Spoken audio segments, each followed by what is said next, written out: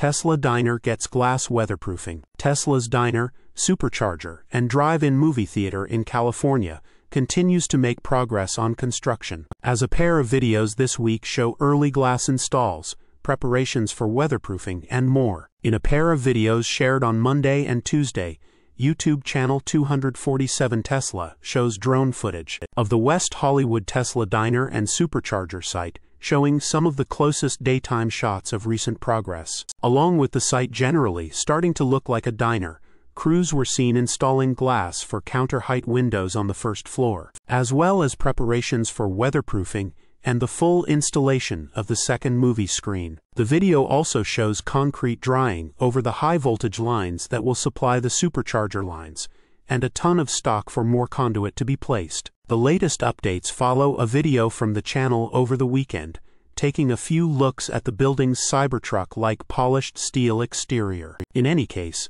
construction of the Tesla diner has come a long way since crews first broke ground on the site last September. Located at 7001 Santa Monica Boulevard in Los Angeles, the diner is expected to be a 1950s style restaurant with rock and roll music playing and waiters on roller skates, according to original ideas for the site posted on what was then called Twitter by Tesla CEO Elon Musk. The musings also included plans to feature the two movie screens, as can be seen in the videos, with highlight reels of some of the best movie scenes in history. Originally destined for Santa Monica, the project was later moved to its current West Hollywood location, where it gained final permit approvals to begin construction last August. You can watch the full Tesla Diner updates from this week below. You can also debate in the comments or in an email to me as to when you think the Tesla Diner will officially open. Tesla Diner glass installation, weatherproofing, and high voltage lines Tesla Diner,